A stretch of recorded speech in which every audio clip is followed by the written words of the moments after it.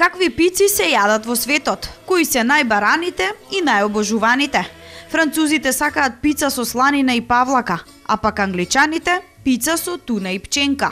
Но не е само видот на пицата, туку и додатоците за што повкусна пица. Во Јапонија јагула и сипа, во Русија црвена харинга, лосос и црвен кромит, во Австралија пак ракчиња и ананас. А на македонците омилена им е она вкусната пица – На оваа тема разговараме со искусниот пица мајстор кој го имавме во рубриката Готви месо, Дарко Илиевски. Даре, колку често на твоето мени се наоѓа пица? Па многу често. Е, е, Вегетаријанска или каква? е, од овие вегетаријански. Другариве мои што ми се од детство, се сите нешто готвачи, пица мајстори, она, и тоа ми е као хоби која ме интересира, секогаш ме интересира, оностоп ги прашувам за рецепти за ова зона. Дури знам и тесто за пица. Футнал некогаш да, да не ти излезе, да ти излезе тврдо тестото или не знам. Абе, знаеш како, многу, многу тешко е да направиш дома ваква пица како што прават овдека, ради тоа што не можеш да постигнеш температура која што ќе испече пицата. Сега ти кажам вака стручно. А иначе дома не сум правил некои посебни обиди, пошто знам дека нема да ми искочи. Со оглед на килограмите кои се позабележителни кај Илиевски, прашавме. На диета нешто такво не знам. Ке биде, биде, абе, убав живот, знаеш како ви кажат. Не, морам малце да почнем со вежбање. А, еве го чекам Васко Жолтиот заедно да почнеме. Ја- Јавно го повикувам од понеделник да почнеме со вежбање Васко, пошто ради тебе ова све. Фала многу.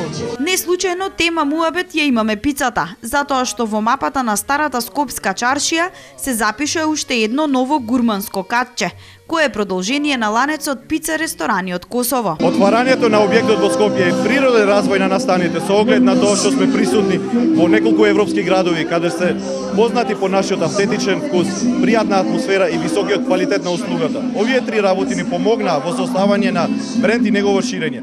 Она што не прави посебни е тоа што подготвуваме пица со најголем диаметар и што нудиме решение за зечи вкус. Односно, во нашата рецептура за пица сме приврзаници на оригиналната пица, а во разните додатоци овозможуваме вкусови соодветни и за најприбирливите. Со еден збор, Пропер пица е место за вистинска пица, по желба во пријатен и релаксирачки амбиент, што ретко се среќава во градот. Скопје е привилегиран затоа што се вбројува во оние европски градови каде може да се вкуси уникатна пица од 60 сантиметри.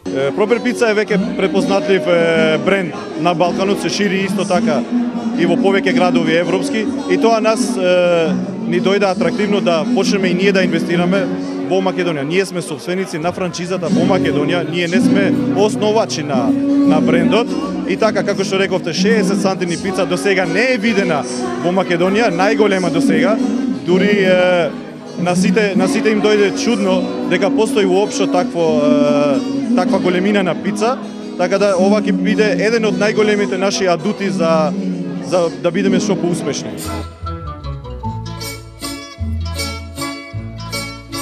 When the moon hits your eye like a big pizza pie, that's amore. Вака изгледа вкусно, па тргнавме во потрага по тајната на пицата.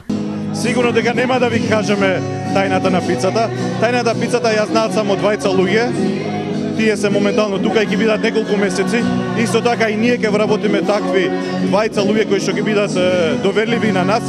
Иначе пица мајсторите тие што ја подготвуваат пицата, тие не ја знаат тајната. Тајната е во тесното на на пицата. Се обидовме и кај пица мајсторот. Главната тајна е во тестото, кое што го прави пекарот. Значи, тој е тајен рецепт кој што дури ние пица мајсторите не го знаеме, така да тоа се прави долу во подрумот, кај што е дури машина за праење на тесто. И тоа е... Да, не.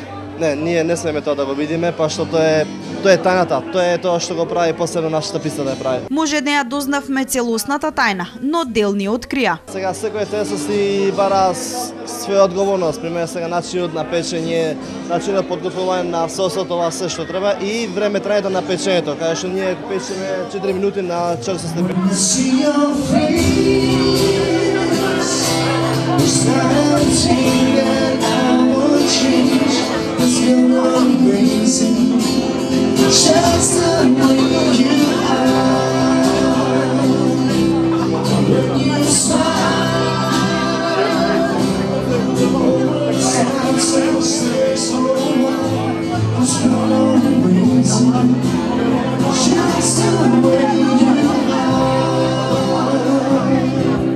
За појадок, ручек и вечера, барем кај нас така се практикува.